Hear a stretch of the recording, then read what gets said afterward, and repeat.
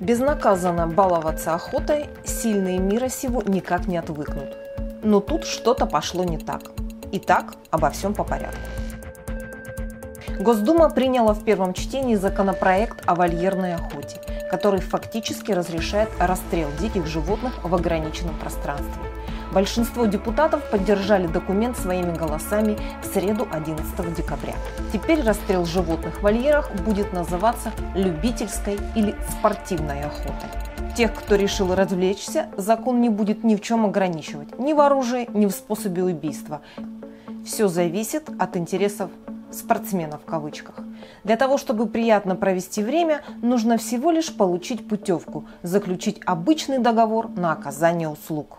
Самый известный такой случай произошел 9 января 2009 года в Республике Алтай. Тогда разбился вертолет Ми-171, в котором находились туши незаконно добытых горных баранов, занесенных в Красную книгу. В авиакатастрофе погибли семь высокопоставленных охотников, в том числе полпред президента в Госдуме Российской Федерации Александр Косопкин. Происшествие спровоцировало политический скандал – в Горно-Алтайске прошел митинг, на котором потребовали привлечь к ответственности ВИП-браконьеров.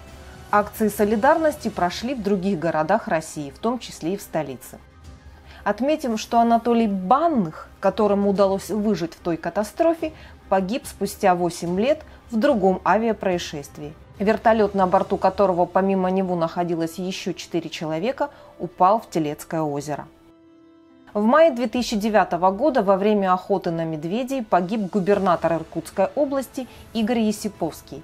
При попытке поднять тушу медведя на лебедке на борт земли вертолет задел деревья и рухнул в тайге неподалеку от Байкала. Его обнаружили полностью сгоревшим в 80 километров от Иркутска. В авиакатастрофе, кроме Игоря Есиповского, погибли зампредседателя правительства Иркутской области Михаил Штонда, охранник Александр Шостак и пилот Виктор Кунов. 24 февраля 2010 года в Пермском крае погиб заместитель гендиректора ООО «Газпром добыча на дым» Константин Павлов. По данным следователей, он был застрелен на охоте председателем межрегиональной профсоюзной организации «Газпром» Владимиром Бабкиным. Сообщалось, что господин Бабкин случайно выстрелил в товарища.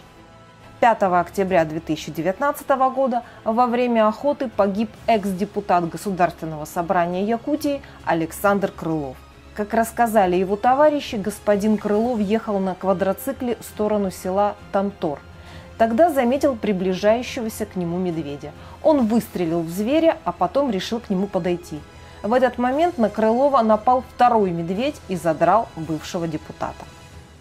Какие же аргументы у тех, кто принял закон? Сторонники законопроекта ссылаются на опыт других стран, но умалчивают, что нигде не разрешено убивать животных непосредственно в вольерах. Их там только выращивают и выпускают в охотничьи угодья. Причем до охоты на них должно пройти минимум 4 месяца. Авторы проекта утверждают, что вольерная охота помогает поддерживать численность популяции разных видов. Итак, кто же волнуется о сохранении видов? Рабочую группу по обновлению устаревшего закона об охоте возглавляет первый заместитель председателя Комитета по экологии и охране окружающей среды Николай Валуев, заядлый охотник и рыбак. Он любит не только убивать животных, но и хвастаться в сети фотографиями с ними, а также давать интервью о своем хобби различным СМИ. Не так давно Валуев в составе комиссии по формированию Красной книги выступал за исключение из нее ряда животных. Также депутат становился героем скандалов из-за сомнительной законности убийства медведя и бобра. Еще один из ярких авторов законопроекта – депутат Госдумы Владислав Резник. Он также любит убивать и является членом клуба горных охотников. Год назад Владислав предлагал узаконить трофейную охоту на животных, занесенных в Красную книгу. Стремится ли он сохранить виды? Ответить на этот вопрос несложно. Если вы думаете, что только единороссы замечены в этой гнусности, то ошибаетесь. Оппозиционный политик Алексей Навальный тоже был замечен в пристрастии к охоте. В 2009 году он был общественным советником тогдашнего губернатора Кировской области Никиты Белых. Мужчины несколько раз фотографировались вместе с убитыми дикими птицами. В Кировской области все помешаны на охоте, писал тогда господин Навальный в своем блоге. Законопроект одобрен большинством. Однако было и несколько противников его принятия.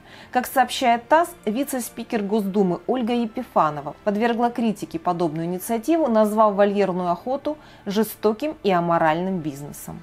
По ее словам, за утверждением этого документа в перспективе стоит продажа прикормленных, полуручных животных для беспроигрышной охоты якобы в вольных условиях. Также она сравнила ситуацию с африканской колонией времен первобытного колониализма, куда ехали из Европы пострелять по крупным животным для самоутверждения, чтобы потом кичиться друг перед другом в своих клубах.